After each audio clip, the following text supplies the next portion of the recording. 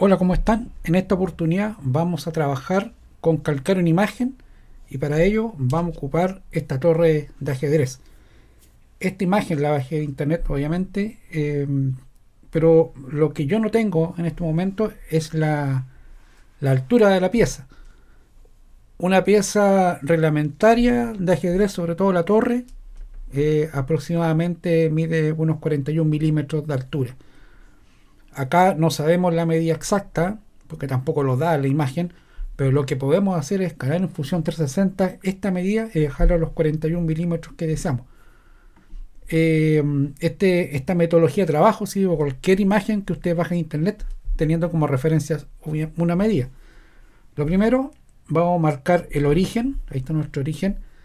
Después vamos a insertar eh, un lienzo o canvas. Entonces vamos a buscar la, imagen de ajedrez, que es esa que está ahí. Y vamos a seleccionar un plano de trabajo. En este caso podría ser esta, este plano que es el frontal, ahí dice frontal, se fijan, o la derecha. Vamos a ocupar la derecha. Y simplemente ahí se puede ver que, la torre, ¿no es cierto?, ya, ya está puesta en el espacio. Ustedes la, la podrían mover si quisiesen o dejarla aproximadamente ahí. Da lo mismo. Esta pieza es la que tenemos que calcar. Como pueden ver, no tengo medida, pero yo quiero que sea de 41 milímetros. Entonces en el lienzo, ahí, botón derecho, vamos a ocupar el calibrar. Entonces, de calibrar yo voy a marcar aproximadamente de aquí del, del centro hasta arriba. Y ahí dice que mide 16 milímetros y lo que yo quiero es que mida 41 y simplemente se se aumentó de tamaño a los 41 milímetros. Entonces, si esto yo quisiese probar, si es cierto, yo, podría nuevamente volver a calibrar la pieza. Entonces, ahí tenemos la pieza lista para empezar a, trabajar.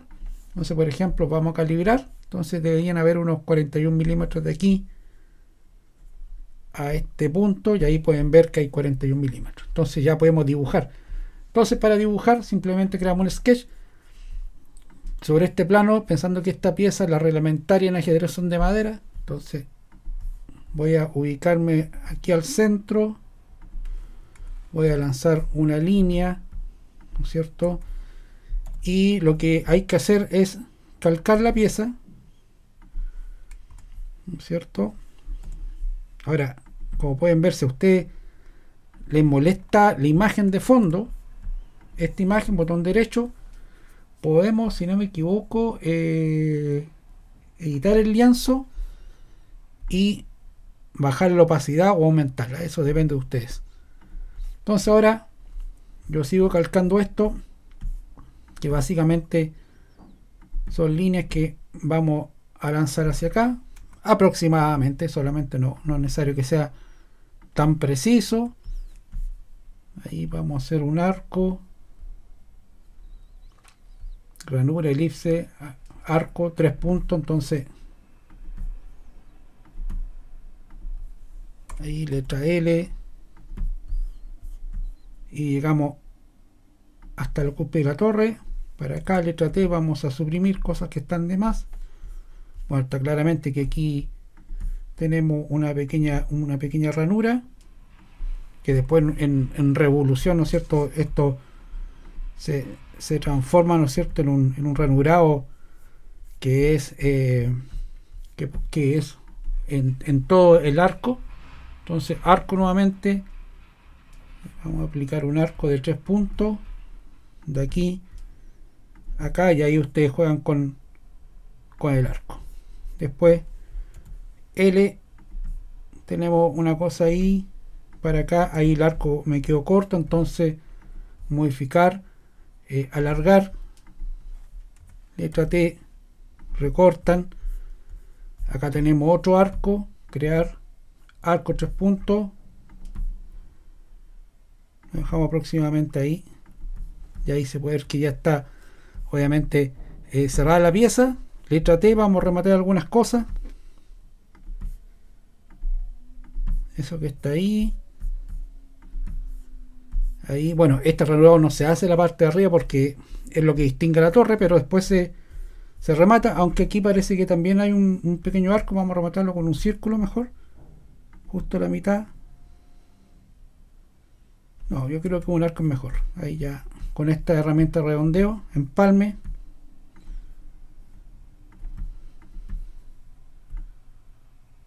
Algo por ahí. Entonces, Enter, tenemos la pieza lista. Lo que debemos hacer es hacer un cuerpo en revolución. Terminamos el boceto. Eh, y ocupamos revolución. Ahí, ahí se marca automáticamente si está bien cerrada la pieza. Y después el eje, esa línea, y ahí tenemos nuestra pieza. Vamos a cambiar el color con este color cíclico y vamos a hacer el vaciado acá. Entonces, vamos a hacer, crear un sketch sobre la parte superior, un círculo. Vamos a colocar aquí unos 14 milímetros. Termino el boceto, extruir este círculo y hacia abajo, ¿no es cierto? sacando material. Imaginen que esta pieza está torneada, entonces la vamos a dejar por ahí, unos menos 6 milímetros. Bien, tenemos eso. Lo que falta aquí eh, son obviamente el, torreón, las partes ¿no es cierto? que están con vaciado. Vamos a crear un boceto en, un plano. Ahora, si les molesta el dibujo de la torre que está atrás, ustedes simplemente apagan el, dibujo del lienzo, ¿no es cierto? Ahí se ve, se prende, se apaga.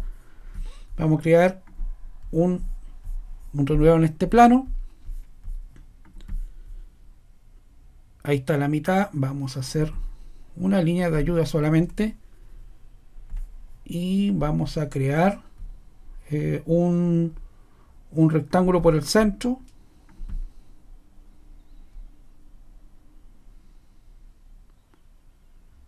de 10 ¿no es cierto? con tabular, con la tecla tabular ustedes pueden cambiar la, medida, o sea donde yo voy a colocar la cota por 5 enter, entonces ahora eh, extruir, hacemos un corte. Entonces tenemos que copiar estos ranurados en, todas las caras. Seguramente esto se hace con una sierra, ¿no es cierto? Vamos a ocupar el patrón circular. Entonces aquí yo siempre marco las caras porque es esa cara, esa cara y esta cara. El eje podría ser el perímetro. De ahí son cuatro. Entonces ahí tenemos el, el, ranurado. Así que si está muy largo, puedo apretar un press pull, ¿no es cierto? Y ahí podríamos dejarlo a 2 milímetros. Claro que el press pull, ¿no es cierto? Eh, tiene que ser aplicado a todo. Enter. En la letra Q, si no me equivoco. 2. Eh, enter. Y 2. Y ahí tenemos nuestra pieza de ajedrez reglamentaria con, con escalar, ¿no es cierto? Bajo la técnica de tener un dibujo abajo, un canvas y poder, obviamente, eh, redibujar la pieza. Pero, antes de terminar, si la pieza, ¿no es cierto? Esta pieza, como pueden ver, no está en el centro, aquí no está en el centro de la pieza, entonces modificar, vamos a alinear esta base con el centro, ¿no es cierto?, eh, de la pieza del, del plano. De ahí pueden ver que está al centro. Bueno, eso sería todo por ahora. Muchas gracias por su atención.